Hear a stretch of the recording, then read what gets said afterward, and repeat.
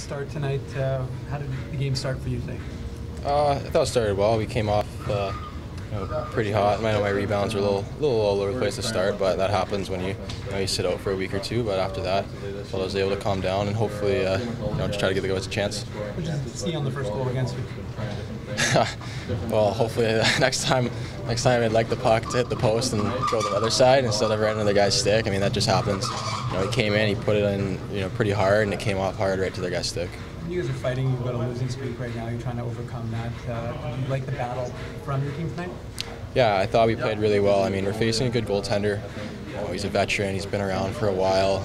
He's the team uh, battles in front of him, and I thought we were able to kind of you know, get a lot of shots on net, and just you know, he made some good saves, and that was just the difference. What did you see in the shootout? Um, know, he made he made good saves, and you know that guy made a nice move, and he was able to you know get me to bite and just go over my blocker, and you know that's part of hockey. Sometimes they score, sometimes they save it.